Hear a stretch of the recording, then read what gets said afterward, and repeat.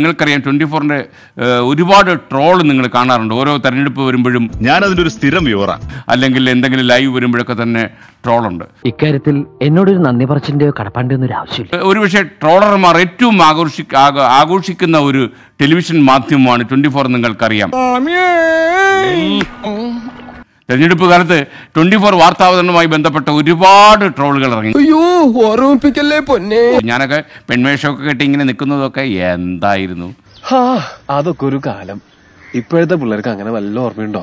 അപ്പോൾ പക്ഷെ ചില ആളുകളെങ്കിലും പറയുന്നു നമ്മളെല്ലാം മാധ്യമ സുഹൃത്തുക്കൾ എന്നോട് എല്ലാവർക്കും നേരിട്ടും പറഞ്ഞിട്ടുണ്ട്. എന്റെ മോന്തയ്ക്ക് നോക്കിയിട്ട് ചോദിക്കാൻ പറ്റിയ ഒരേ ഒരു കാര്യമുള്ളൂ. നരകത്തിലേക്ക് ഇവിടുന്ന് ലെഫ്റ്റോ റൈറ്റോ അതോ നേരെ പോകണം ഇതൊക്കെ നിങ്ങൾ തന്നെ സൃഷ്ടിച്ചു വിടുന്നതാണെന്നാണ് പറയുന്നത്.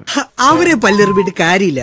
ആരാണെങ്കിലും ചിരിച്ചു പോകും എന്നാൽ നമ്മൾ അവരോട് മറുപടി പറയാറില്ല. കാരണം നമ്മൾ പറഞ്ഞാൽ അവർ വിശ്വസിക്കാൻ പോകുന്നില്ല ഈ ട്രോളിന്റെ ഒക്കെ ഉത്ഭവം നമ്മുടെ ഈ പ്രഭവ കേന്ദ്രം ട്വന്റി ഫോർ അല്ല എന്നുള്ളത്. ഈ വീട്ടിൽ എന്റെ ഞാൻ പറഞ്ഞ ആർക്കും വിശ്വാസമില്ല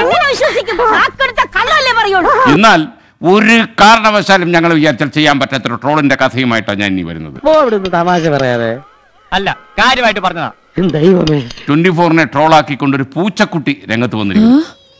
ആ? പൂച്ചക്കുട്ടി വരെ നമ്മുടെ വ്യൂവേഴ്സ് ആയിട്ട് വന്നിരിക്കുന്നു. നീ എന്തുവാടേ പറയുന്നത്? തണുപ്പത്ത് പീഡിയത്തിന്റെ കിടന്ന് നിന്റെ പിരികളായി പോയടാ ഫ്രീ ആയി. എനിക്കും കാണണേ വാർത്തകളൊക്കെ. കുറെ നാളായില്ലേ വാർത്തകളൊക്കെ ഒന്ന് കണ്ടിട്ട്. ലക്ഷദ്വീപിൽ കൂടെ നീ നിർമ്മിതം വായിക്കാനും പറ്റുന്നില്ല. എനിക്ക് എഴുതാനല്ലേ സാറേ അറിയൂ? വായിക്കാറില്ലല്ലോ. പാവം. എല്ലാ കഴിവും കൂടി ദൈവം ഒരാൾക്ക് കൊടുക്കൂലല്ലോ. അർത്ഥം എനിക്ക് അറിഞ്ഞൂടാ. നല്ല വെയിറ്റ് ഉള്ള വാക്കല്ലേ? കൊള്ളാമോ എന്തായാലും ഇത് ഡബ് ചെയ്ത് ആ കുട്ടിക്ക് കൊടുക്കണ ഒരു കൈ. ഉം, ഒരു കൈ. ആ കയ്യിലിരിക്കട്ടെ ഞാൻ ആവശ്യമുള്ളപ്പോ ചോദിച്ചോളാം. റോളുകാരൊക്കെ യഥാർത്ഥത്തിൽ വളരെ നല്ല കാര്യമാണ് ചെയ്യുന്നത്. കണ്ടോ? ഇപ്പൊ എന്ത് കാര്യത്തിന് ഞാൻ തന്നെ വേണം. അയ്യോ ഞാനില്ലായിരുന്നെങ്കിൽ ആരോടെങ്കിലും എന്തെങ്കിലും ഒരു കാര്യം പറഞ്ഞ് ഇത് ട്രോളായി വന്നാൽ എന്താകുമെന്ന് ഞാൻ ആലോചിച്ചു പോകണം